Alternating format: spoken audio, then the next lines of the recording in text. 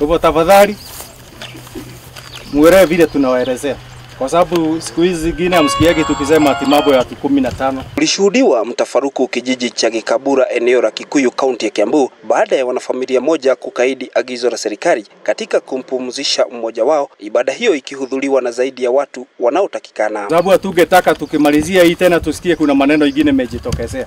Hiyo ndio sana sana tunajaribu kuzuia. Hata hivyo, wanafamilia walitii na kufuata matakwa yote ya serikali, huku wakiomba radhi kwa waombolezaji wote waliofika kuwa pamoja nao, ila wakakatazwa na machifu na maafisa wa usalama. Tumekubaliwa tuwe watu kumi na tano na maombole na tukae mbalimbali na wengine, mtu akazikae karibu na mwili mwingine. Walikuwa walikuwa wamejidisha kuja hapa kuomboleza na sisi, tunaomba radhi kwa vile hatungeweza kuendelea kwa vile mambo haikuwa sawa sawa. Hayo ya kijiri familia moja katika kijiji cha Kabuku, eneo bunge la Limuru, wanasimulia jinsi walivyoamka na kupatwa na mshangao baada ya kupata kaburi nje ya mlango wa nyumba yao, tukio sasa wanakisia kuendeshwa na baadhi ya jamii yao wanaonuia kuwanyaganya shaba wanamoishi. Kipindi hiki mahakama zimesitisha huduma kwa muda. Tusaidiwe vile serikali inaweza kumwondoa aende azikwa kwake shabani ama kwa kaburi la familia. Kwa sasa wanafamilia hao wanaomba serikali kuingilia kati na kuwapa mwelekeo wa jinsi watapata haki.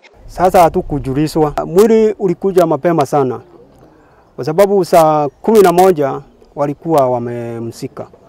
Sasa si, si, si, sijui kama ni dawa walitupatia, hatujui. Si tulikuta, tulikuta wamesamzika. Huku idara zote za serikali zikitilia maanani kukomesha kuenea kwa homa ya COVID-19, kunao wamechukua fursa hii kutatua mizozo ya kifamilia ila kwa njia ya mkato. Paul Jao, Runiga ya K24, saa moja, kaunti ya Kiambu.